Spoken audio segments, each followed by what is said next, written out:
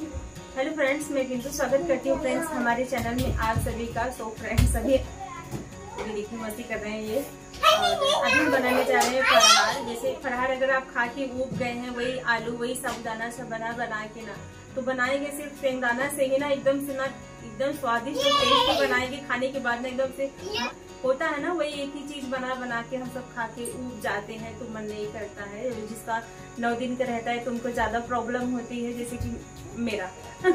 हमें ना व्रत में आलू खाना बिल्कुल से भी नहीं पसंद है। अगर हम आलू खाते ना तो मेरे गले में ना जलन होने लगती है। तो इसीलिए ना मैं आलू बहुत कम खाती हूँ। बहुत कम क्या मतलब दिन में अगर एक आलू खा लिए तो खा लिए, नहीं तो नहीं खाते हैं।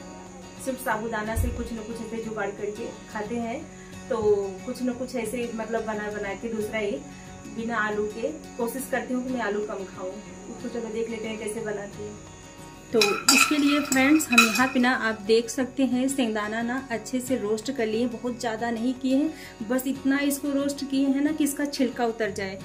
आप सभी के भी ये काम आएगा, जैसे हमारी तरह जो आलू ज़्यादा नहीं खाते हैं और उब जाते हैं ना तो उनके लिए। अब ये ठंडा हो गया है, इसका छिलका हम निकाल लेते हैं।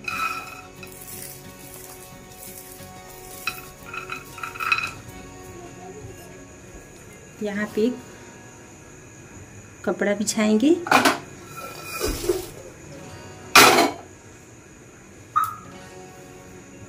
इसका छिलका ना बहुत आसानी से इस तरह से निकल जाता है। कभी कभी क्या रहता है ना कभी कभी गर्म भी रहता है ना तो हाथ भी जलता है।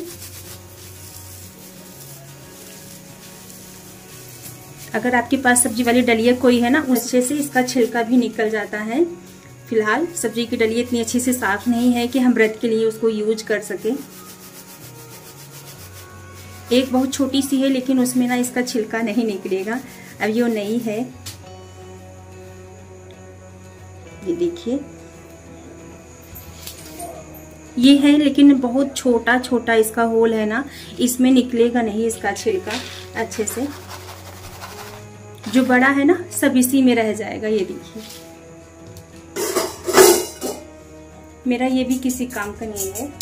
तो इसको ना मैं थाली में करके इसका छिलका निकालूँगी ऐसे फटक के।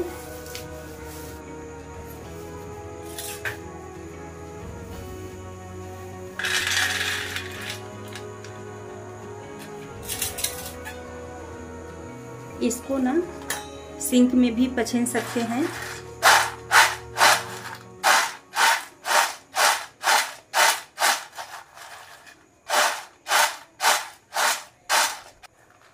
इसका ना हम पाउडर बनाएँगे और ये ना बहुत ज़्यादा बारीक करने के चक्कर में ना पड़े। ये थोड़ा सा दरदरा ही रहता है ना तो भी बहुत ही अच्छा लगता है। चलिए इसको पीस लेते हैं मिक्सी जार में हम।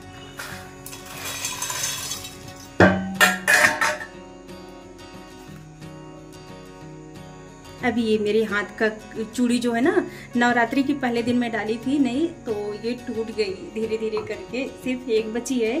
और जो बैंगल हम निकाले थे अपने हाथ से ना पूरा ना वो पता नहीं कहाँ रख दिए दिख ही नहीं रहा है। तो बड़ा अजीब लग रहा है ना अभी कल हवन करेंगे ना तब उसके बाद नवरात्रि के टाइम पे क्या है ना कुछ नौ दिन में ये जो रहता है ना उसके बीच कुछ नया नहीं पहन सकते। और चूड़ी सारी नहीं है हमारे पास बैंकल जो है मिल ही नहीं रहा कहाँ निकाल के रख दिए हम तो तो अभी ये हम ना पीस लिए हैं।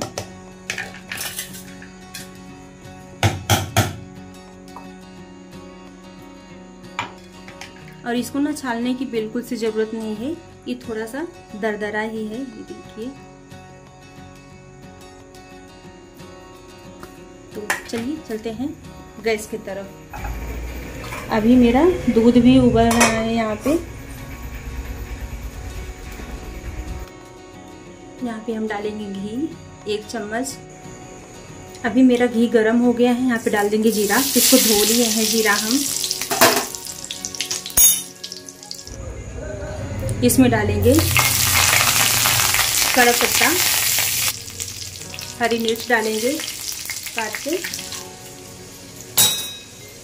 अब हम यहाँ पे डालेंगे एक टमाटर। आप ज़्यादा टमाटर भी ले सकते हो और मैं ज़्यादा नहीं खाती खट्टा ना क्योंकि अभी तो समझ लीजिए, ये फ़र्स्ट टाइम है, मैंने अपने फरहार में एक टमाटर डाला है। नहीं तो आधा टमाटर, नहीं तो डालती भी नहीं मैं, क्योंकि मेरे गले में दिक्कत है ना, खट्टा खाते हैं तो बहुत दर्द होने लगता है। इसी वजह से ना टमाटर हम अक्सर ना स्किप कर देते हैं। अभी एक टमाटर डाले हुए हैं हम। तो दो करा पत्ता छूट गया था, उसको भी डाल दिए हैं। यहाँ पे डाल देंगे नमक। हमें जितना डालना है, ये टमाटर ना बहुत जल्दी से ना सॉफ्ट हो जाएगा इससे।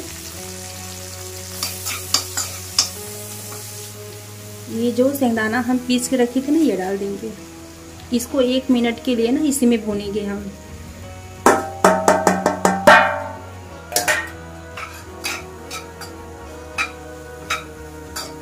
और ये फरहार जो है ना, कोई भी व्रत हो, फरहार जब हम करते हैं ना तो बिना दही और बिना नींबू बना हमें बिल्कुल नहीं जमता। कितना भी हम, हमारे फरहार में टमाटर हो, लेकिन ना हम नींबू और दही लेते ही लेते हैं, लेकिन क्या बताएँ? सब दुख भगवान को ना हम ही को देना था। ना जूम करके दिखाते हैं। ये देखिए।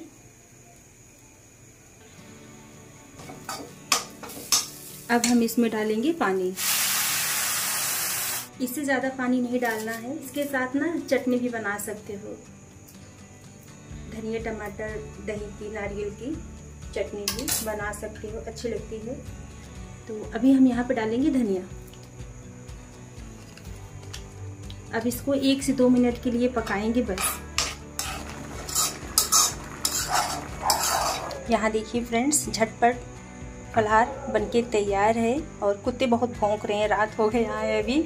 साढ़े दस बज रहे हैं, बच्चों सबको खिला पिला के गैस वैस अभी साफ़ करके तो मैं अपना फलहार बनाने बैठी हूँ। देखिए।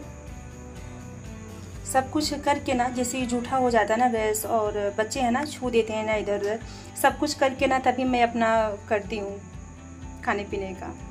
तो यहाँ पे देखिए, इसकी रेसिपी कैसी लगी आप सभी को प्लीज़ बताना, ज़रूर कमेंट करना। आप सभी से रिक्वेस्ट है वीडियो पूरा देखना। देखिए।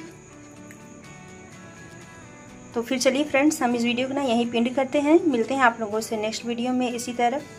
वीडियो पसंद आए हो तो प्लीज़ लाइक, शेयर, कमेंट करें। मेरे चैनल को सब्सक्राइब करें तब तक लिए bye bye and good night